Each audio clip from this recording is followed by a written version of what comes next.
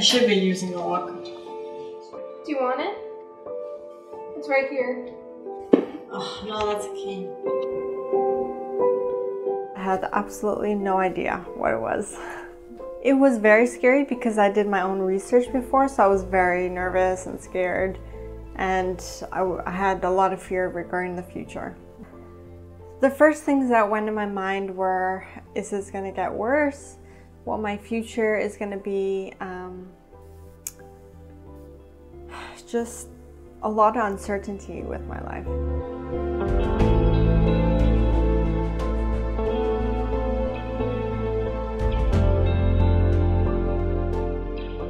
Florence Roudbarani is 28 years old. She was diagnosed with multiple sclerosis in 2013, a disease that has dramatically changed her life. Multiple sclerosis, or MS, is a disease that affects the central nervous system. It causes damage to nerve cells in the brain and spinal cord. One in every 385 Canadians is estimated to have MS, the highest rate in the world. For most people like Florence, the disease is not fatal. However, there is currently no cure. So, uh, before I got diagnosed, I was, I actually just finished my undergrad at McMaster University, and um, life was good. I was very happy. Um, I, I went to Florida, I traveled. You know, I would go out with friends on the weekend, we'd go out dancing. I did a lot of volunteer work as well. Um, with it was a group called Life is Beautiful where they would take us to um, Dominican Republic and we would um, build a house there with a group of 18 people. I have to admit, like now it was it was perfect. I had a perfect past before diagnosis. For Florence and others living with the disease, physical symptoms are just one part of the battle. They must also confront the reality that their lives will never be the same. This plunges many people with MS into depression. Tae Hart is a clinical psychologist and psychology professor at Ryerson University.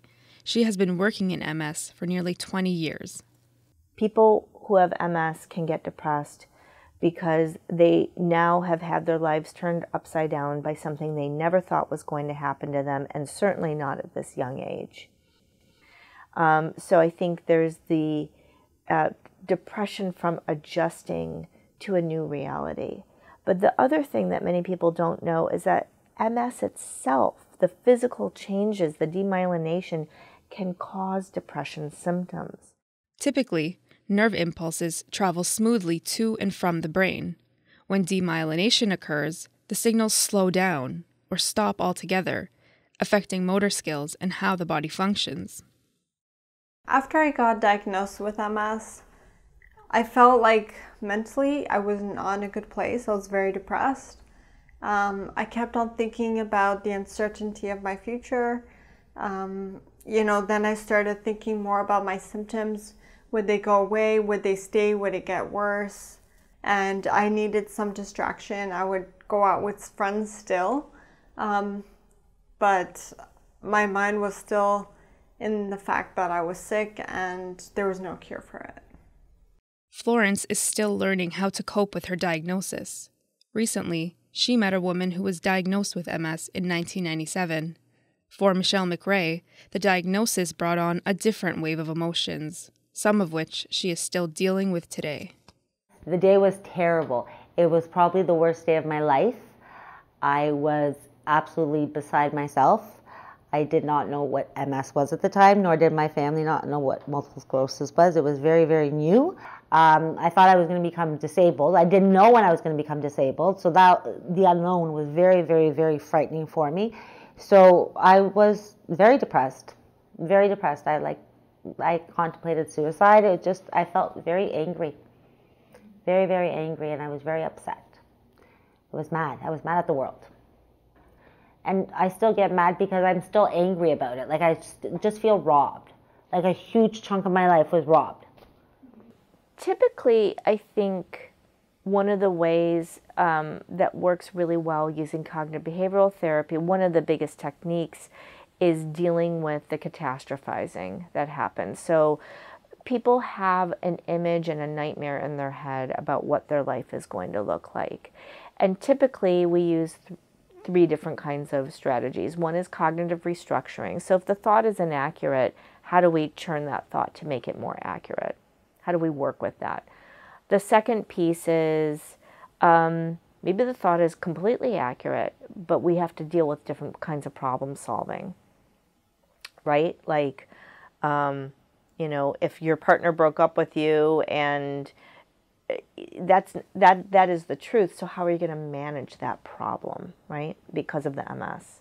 Um, and then the third thing that I think is useful that is not MS unique, but the case with any kind of chronic illness, is using acceptance based approaches. So sometimes things are just true, like you can't walk, you do need a walker, you do have optic neuritis.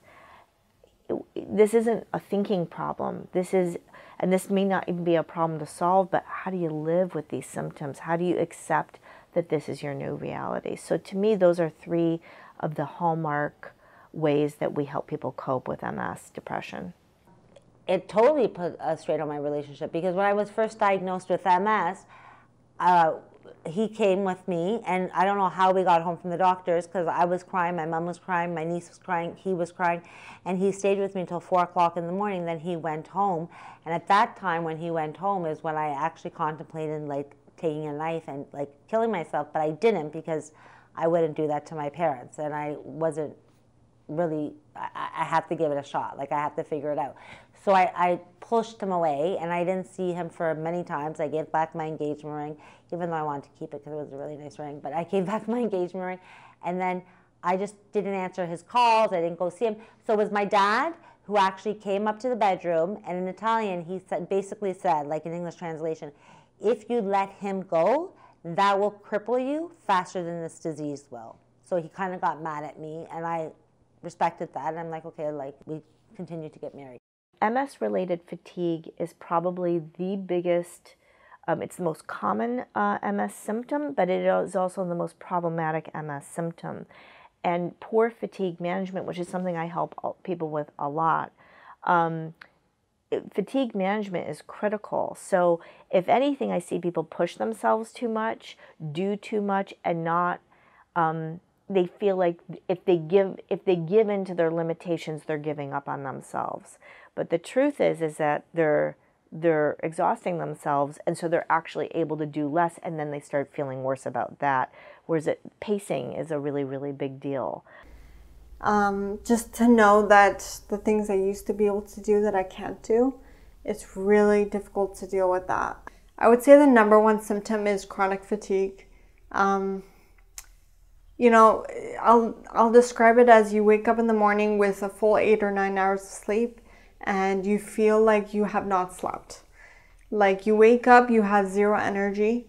Um, just simple things such as taking a shower will literally take all of your energy. And I would, when I come from a shower, I have to like rest for an hour because I'm so tired. Um, so functionally, it's not really helping me. Um, even with regards to cooking, for example, um, it takes a lot of energy for me to cook and cut, you know, prepare meals and cut vegetables and and so these things have definitely affected the chronic fatigue has definitely affected my life. Florence's physical symptoms require several changes to her day-to-day life. In 2005, the Ontario government announced the Accessibility for Ontarians with Disabilities Act. The Act promises to remove barriers to accessibility in areas such as employment, transportation, and the design of public spaces by 2025. Currently, the federal and provincial governments offer disability and drug benefits. But for things not covered by government assistance, like home renovations, nonprofit organizations such as the March of Dimes fill the gap.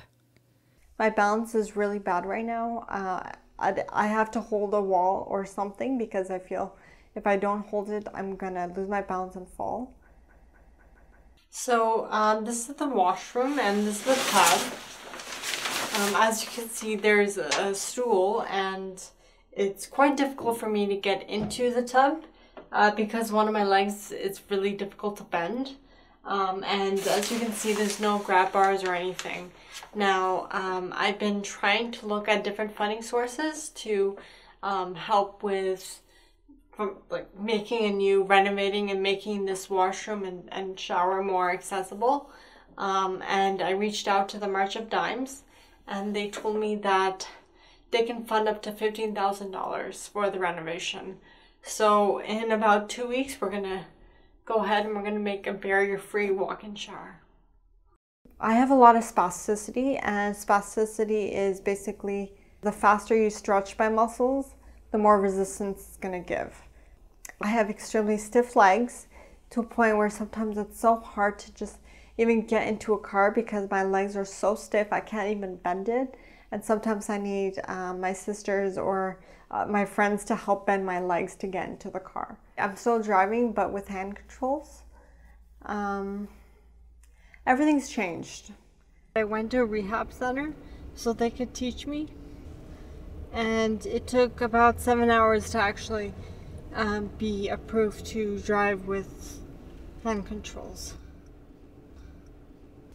Definitely, I find that driving, I'm able to maintain my independence, especially when I need to go grocery shopping or just anywhere to my friend's house. Um, if I were to take public transit, it'd be a lot of work for me to get to and out from the bus and TTC and etc. Yeah, so right now there's really no treatment really to help with MS, but there are a lot of um, uh, medications that you can take to manage the symptoms, such as you know baclofen for the spasticity. I, I definitely need depression medication because um, depression is a secondary symptom I have. The MS Society of Canada is a voluntary organization that aims to enhance the quality of life for people with MS. It has chapters across the country, including Toronto and surrounding areas. Peter Basilio has been working for the MS Society since 2006, a year after his diagnosis. He is frustrated with the response from municipal governments about accessibility. And I tell them, why, why can't you build the sidewalks appropriate that can fit the wheelchairs? or when you do a ramp for accessible parking, why is the ramp six parking spots away from where, where the person's parking? Why do I have to get off the frickin' bus to get onto another bus and to get back on the first bus to get to my destination? And they said, well, this is the agreement we have with Wheel-Trans. Well, no, it's not the agreement. It's an idiotic agreement. Why don't you get into a wheelchair, get off in a, a, a well-driven vehicle, to get onto another vehicle, to get up to your spot, which could take two or three hours, to get back onto the original bus. It just doesn't make sense. But they expect us to do that in a wheelchair or in the middle of wintertime. For most people, these few steps are no big deal. An out of service elevator or escalator is barely an inconvenience. But for some people living with MS, these are factors that determine where they can and cannot go. We reached out to eight members of the provincial parliament about accessibility. We haven't received a response. Um, I've gone to even buildings where their elevator was not working or they did, did not have an elevator. Now, I'm right now able to go up the stairs, but I know other people, again, with wheelchairs, how are they supposed to go all the way up to the 15th floor, for example? Um, it's just physically not possible there's a lot of accessibility issues that we still face. When my friends call me to tell me, let's go out to a restaurant or something like that, there's a lot of things that come into play. You know, my fatigue, or, um, you know, is there an accessible washroom? Would I have to go up the stairs to get to where I need to go? Um, so the, all these planning things really affect my want, wanting to go out. And so sometimes I'm just like, it's so much easier just to stay home, watch a movie, and not deal with all that planning. And to be honest, I don't like crowded areas. It kind of gives me a little bit of anxiety because I feel, you know, I look at other people and I uh, compare myself to others and I see other young people walking around laughing, and I'm just like, I wish I could be like that. What we're trying to do, other than speak up for, we have to get rid of the ignorance of those without a disability or without an inconvenience. And that is the most difficult of teaching an ignorant person to think common sense, to think logically. The fact that Canada has the number one uh, the highest rate of MS in the world makes me feel um, pretty bad because if we are a, if we are a country with a lot of people developing these disabilities, there shouldn't be any accessibility issues for people going out into the community. Even though progress has been made, there are still significant steps to take to help people with MS lead a normal life. Until that day, for Florence, Michelle, and Peter, the struggle with multiple sclerosis continues. For the Ryerson Documentary Unit, I'm Sara Hussein.